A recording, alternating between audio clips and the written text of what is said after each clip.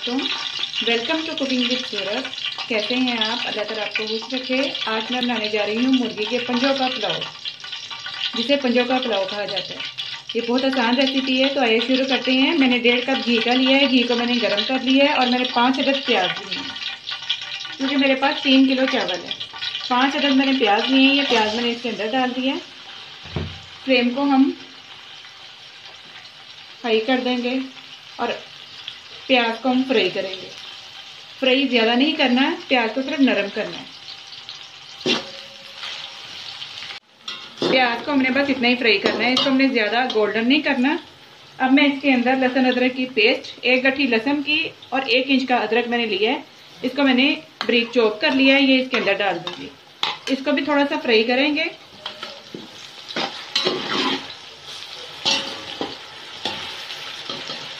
ये मेरे पास दो किलो मुर्गी के पंजे हैं। इसको मैंने धोकर अच्छी इसको मैंने अच्छी तरह साफ़ किया है।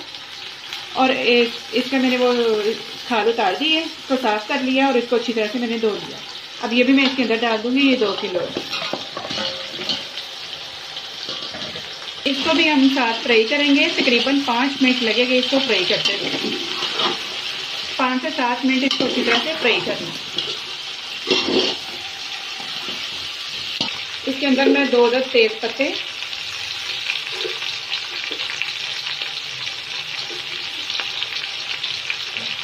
एक चम्मच मैंने भरकर गरम मसाले का डाल दिया है। इसके अंदर सारा कुछ है। ये मैंने इसके अंदर गरम मसाला डाल दिया और इसको हम अच्छी तरह से फ्राई करेंगे। पंजे फ्राई हो चुके हैं। इसको मैंने सात मिनट अच्छी तरह से फ्राई किया है। तीन किलो मेरे पास चावल है। इसके अंदर मैंने बराबर का पानी डालने लगी जितने चावल है, उतना ही मैं इसके अंदर पानी डालूँगी और एक गिलास में ज़्यादा डाल दूँगी। डाल दूँगी।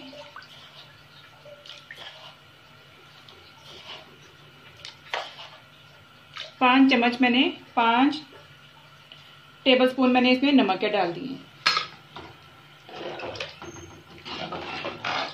तीन किलो चावल थे। बराबर का मैंने पानी डाला है और एक गिलास मैंने इसके अंदर ज़्यादा डाल दिया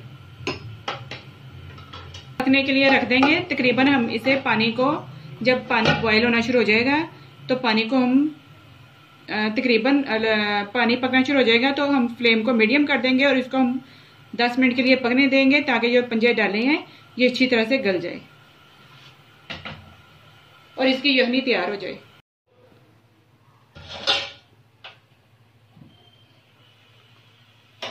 यहनी को पकते हुए पंद्रह मिनट हो चुके हैं। यहनी तैयार हो चुकी है। मैंने इसके अंदर आधा कप घी का, वो आधा कप मैंने दही का भी डाला था। तो आइए इसके अंदर अब चावल शामिल करते हैं।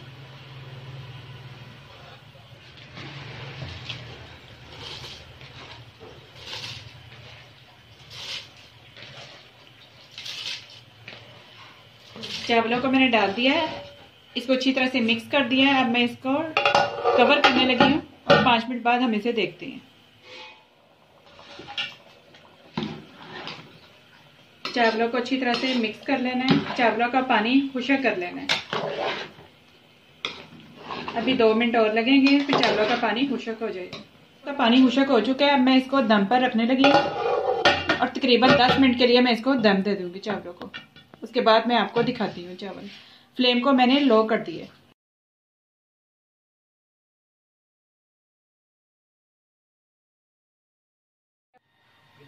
जी व्यूवर्स चावल दम आ चुके हैं। मैंने दम को खोल दिया है। चावल देखिए कितने अच्छे बने हैं और इतने मज़े के बने हैं कि आप इसको घर में ज़रूर ट्राई करें।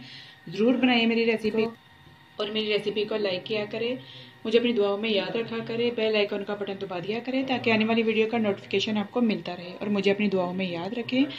ओके फिर मिलेंगे नेक्स्ट वीडियो के साथ। अल्लाह हाफिज़।